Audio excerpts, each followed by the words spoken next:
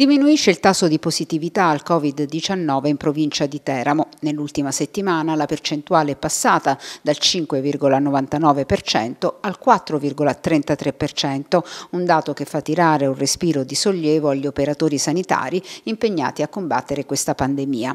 Ad oggi nei tre ospedali teramani sono ricoverate 163 persone. L'età si attesta tra i 50 e i 60 anni, mentre a differenza dello scorso anno sono pochissimi gli ultra ottantenni ospedalizzati.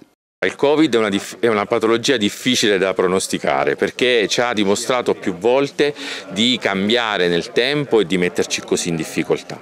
Però certamente un dato di una riduzione sul territorio è una buona notizia perché solitamente dopo una settimana, dieci giorni noi vediamo la riduzione sugli ospedali e dopo un periodo analogo vediamo una riduzione anche sulle terapie intensive. L'altro dato è sull'età, cioè gli over 80 sono in pochi ad essere ricoverati. Pochissimi, veramente veramente pochi sono tutte persone o che non hanno avuto il vaccino per motivazioni varie oppure che hanno avuto la prima dose e questi generalmente vanno molto meglio rispetto a qualche tempo fa.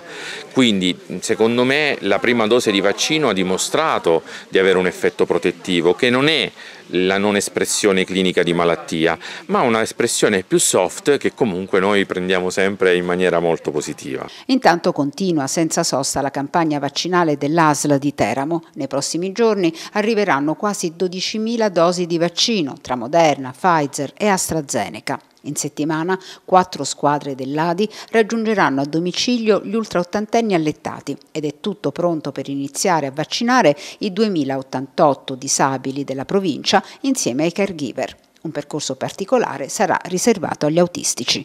Questa settimana avremo una grossa fornitura di, di, fiale di vaccino, questo ci consente di attuare la nostra programmazione, di portare avanti la nostra programmazione innanzitutto con eh, gli ultraottantenni che sono allettati, quindi che hanno, non possono deambulare e quindi dovremo fare a domicilio. Li raggiungeremo con quattro squadre idoneamente predisposte dell'ADI che andranno lì sul posto e, questo è ovvio che si tratta di un procedimento un po' più lento rispetto a quello che ha visto la vaccinazione degli ultraottantenni nei, nei centri vaccinali. Infine diventano zona rossa i comuni di Sant'Egidio, Santomero e Mociano, allerta massima a Campli, dove sono risultati positivi 14 extracomunitari nel centro di accoglienza per stranieri.